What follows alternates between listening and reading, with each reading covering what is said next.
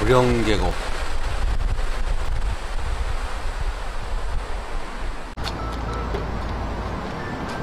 구령계곡 가는 길에 망향휴게소에 들려 쉬어간다. 태풍이 지나간다는데 남쪽부터 구름이 올라오는 게 보이고 빗방울도 간간히 비친다.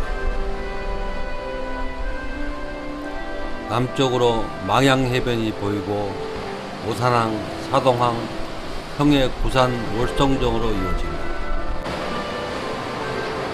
곳곳에 멋진 풍경들이 있으며 우리가 잘 모르는 비경도 숨어 있다.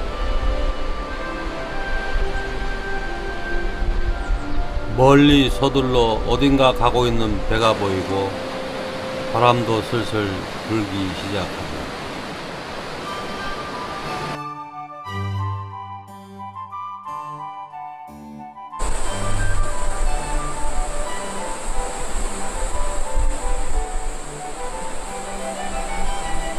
구령계곡은 울진군 근남면 행곡리에서 서면 하원리에 이르는 길이 15km 계곡이다. 구령천에 의해 깊게 패인 계곡으로 20억 년 전에 만들어진 현마암이 주를 이룬다. 구령계곡이라는 명칭은 근처 불영사에서 연유한 이름이 아닌가 한다.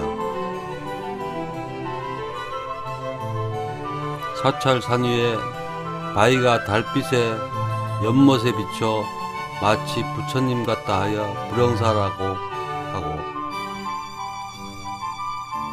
절 이름이 지어졌다는 얘기가 있다. 금강송면 넘어가는 끄트머리 명당에 불영사가 있다. 깊은 계곡 맑은 물빛에 편마음 절벽과 수림이 조화를 이루어 가히 풍경이라고 할 수 있다. 계곡 따라가는 불영 계곡로는 옛 36번 국도로 2020년 새로운 36번 국도가 완전 개통되었다. 원래 이곳에 차 타면 토 나올 정도로 구불구불한 2차선 도로가 있었는데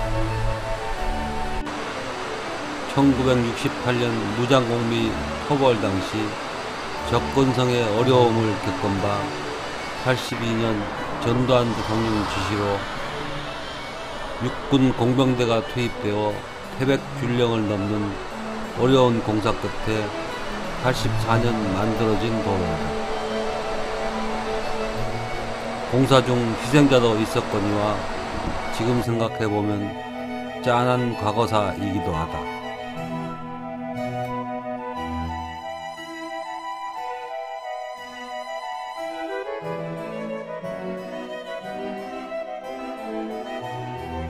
고갯마루에 있는 불영정과 선유정에 잠시 쉬면서 계곡을 널리 조망할 수 있다.